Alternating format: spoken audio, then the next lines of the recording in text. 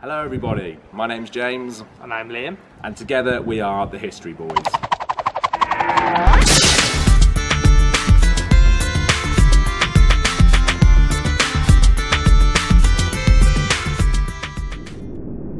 Sixty percent of the population wiped out. Fifty million dead in just a few years. One of the greatest catastrophes in human history.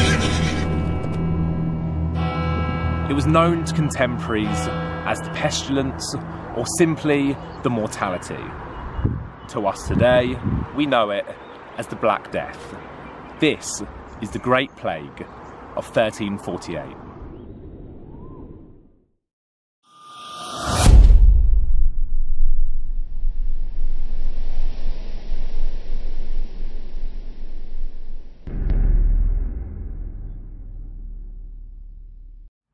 I'm here in Norwich to discuss the plague, and the reason I'm in Norwich is because it's the capital of East Anglia.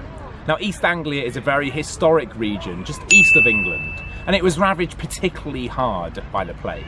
Indeed, it says that 60% of the population in East Anglia died of the plague, which compares to 50% as a European average and 40% as an English average. The population of Norwich itself is claimed to be 20,000 prior to the plague arriving, and after just a few months, 6,000. Needless to say, this area was hit particularly hard. Now, this wasn't the first time that Europe had been decimated by the pestilence. The plague of Justinian in 541 had ravaged Europe and a decaying empire. But what made the Great Plague of 1348 so historically significant? To find out, we have to look at where it came from. Although the precise origins of the plague are still a matter for dispute, it is nevertheless generally accepted that this particular pestilence is likely to have originated amongst the rodents of the Central Asiatic plains, around what we would know as modern day Mongolia. Now, how long the plague festered there amongst those vast steppes is still largely unknown. However, what we do know is that the plague began to move westwards, and around 1346 we have our first scattered reports. Our first really definitive accounts of the plague don't appear until the spring of 1347, when it reaches Constantinople, the historic capital of the Byzantine Empire. At the time, there was a belief that up to 90% of the city had perished, figures which we can say with a little historical hindsight are suspect to say the least. That being said, the tendency to over exaggerate the numbers of dead, which is a consistent theme throughout many of our surviving sources, really speaks to the psychological impact of the plague. What we can say is that for the residents of Constantinople, this would have been like nothing they had ever seen before. The words of Demetrius Kydones, chronicler at the court in Constantinople, really speak to the sense of impending doom that would have gripped the city. Every day we bring out our friends for burial. And every day the city becomes emptier, and the number of graves increases.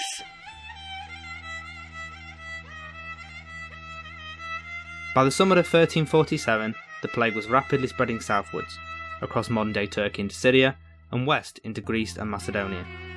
However, this is not the travel itinerary of the plague as it was to arrive in Western Europe.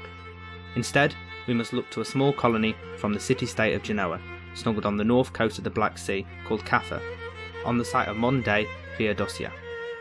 The story goes that the plague entered the city of Kaffa courtesy of an invading army of Tatars, a semi nomadic tribe who had allied with Genghis Khan in his great conquest and subsequent establishment of the Mongol Empire in the early 13th century. It is said that whilst laying siege to the city, the Tatars flung corpses of their infected dead over the city ramparts. Now, some modern historians have put a question mark over the accuracy of this tale. It is, after all, a rather convenient narrative device for a pious people, such as the Genoese were, looking to make sense of such calamity. Why face the painful conclusion that God could have abandoned his faithful flock? Better that the cause for such despair should originate with a heathen people. Alas, it's likely we will never know for sure the truth of the matter. However, what we do know is that by the autumn of 1347, a small fleet of Genoese ships, full of infected sailors, had set sail and was soon to arrive in the Sicilian port city of Messina. Almost immediately, people began to fall ill. Friar de Michele de Piazza, our primary source for the arrival of the plague in Messina, suggests that, as the gangplanks fell and the Genoese sailors rolled onto the docks, that anyone who so much as spoke with one of them became infected and could not avoid death.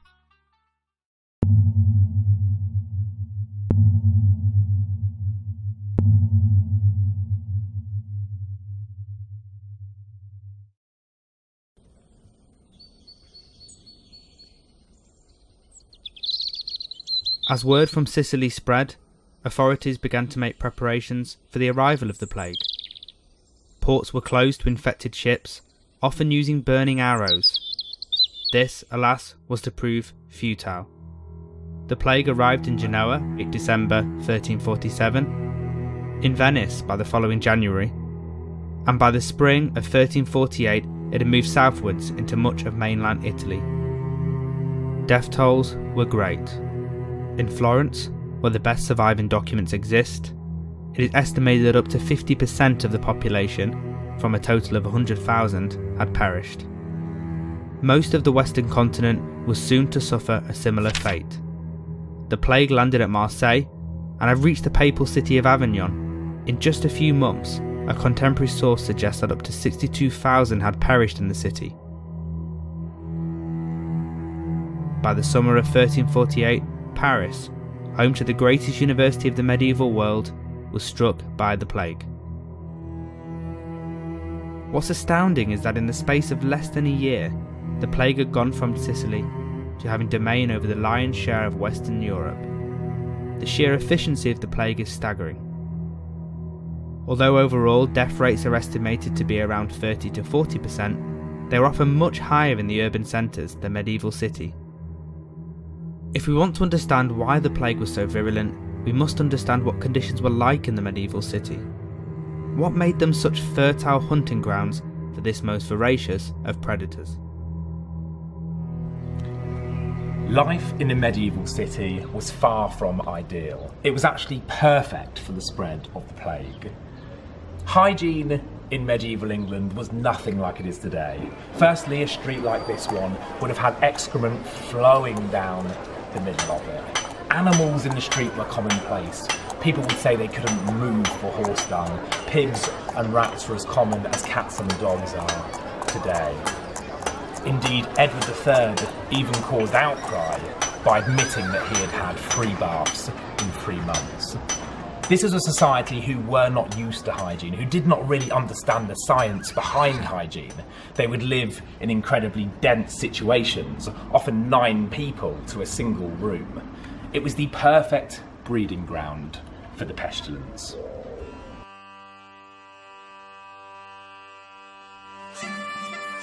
The Europe of 1300 was already starting to look quite different from the one of even 100 years before. From 1200, the population had risen by 10 million, which is almost double the increase from the century before. This was a continent very much in the early stages of transition, away from the social and economic stagnation that had typified the Dark Ages. Many of the developments which we find in this transitionary period help us to explain, at least in part, the remarkable passage of the plague by the time it hits England in 1348. Firstly, the medieval economy was beginning to acquire an increasingly global character. There were dozens of new trading networks by 1280, many of which expanded further eastwards than ever before. This, of course, was accompanied by an aggressive form of colonial expansion, as is illustrated in the story of Caffa. This helped to facilitate the easy flow of people and goods from east to west, and is very much a key conduit for the plague's rapid transmission. A strand of the plague which, in other circumstances, may have remained undisturbed in its slumber for centuries, now found no shortage of less than willing hosts for its great migration. Secondly, people within Europe had become increasingly mobile. The expansion in trade routes had facilitated greater travel, and military campaigns had become much larger in scale. The consequent mass of human bodies trampling across Europe states of great distress and squalor may have also been a contributing factor to the plague spread. Finally, we must look at the consequences of what a larger, more mobile population would mean for a society without the appropriate infrastructure to accommodate it. Not long after the turn of the century, a decrease in global temperatures led to a series of environmental catastrophes, particularly large floods, which caused major disruption to harvests. This resulted in what we call the Great Famine of 1315 to 1317. Floods devastated many grains and bean crops, turning fields barren. This led to malnutrition and, in some cases, starvation across the board, lowering immune systems and making populations vulnerable to conditions such as typhoid fever and a strand of pestilence we would now know as anthrax.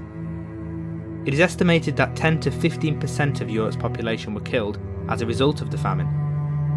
A recent set of research conducted at Harvard analysed the data collected using modern scientific techniques alongside tradition written historical records. They concluded that the wet weather which led to the famine may have affected a much longer period than traditionally thought. This would suggest a deep, prolonged food shortage in the years leading up to the Black Death. Rather than a flash in the pan type affair, the plague is better understood in this context as the apex of a fermenting crisis of a society in flux, fueled by overpopulation, climate change, malnutrition, and war.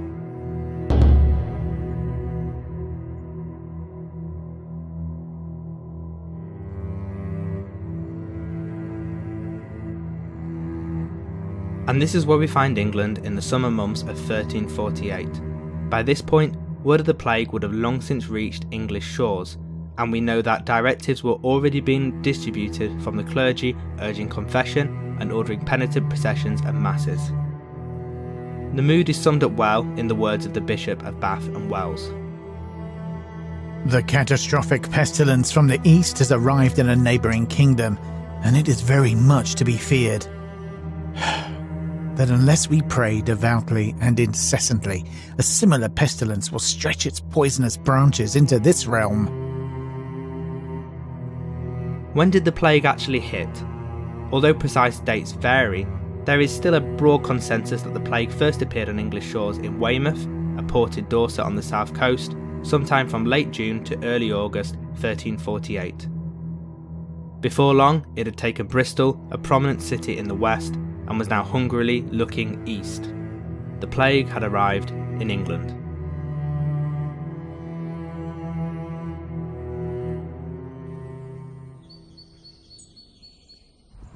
People in 1348 were used to the idea of death, but they were not used to this orderless death, this death without God and without family.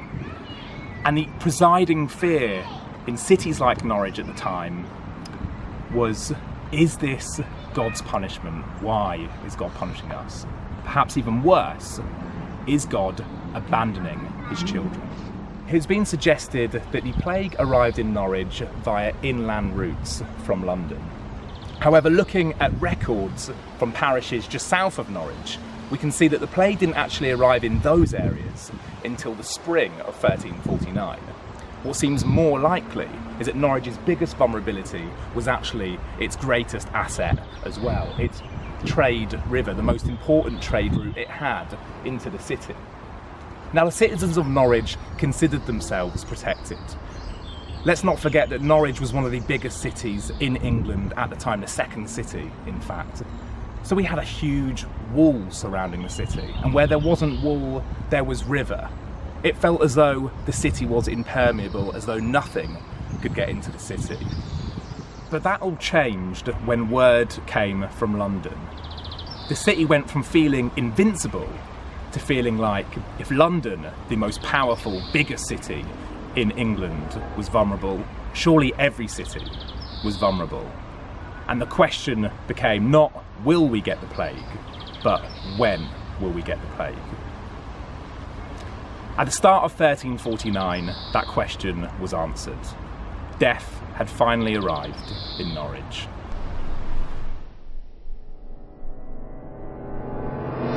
Next time on The Black Death, we'll be heading out into the English countryside to uncover the reality of life in the 1300s and to explore the earth shattering impact on the medieval spirit when the plague reaches God's own country.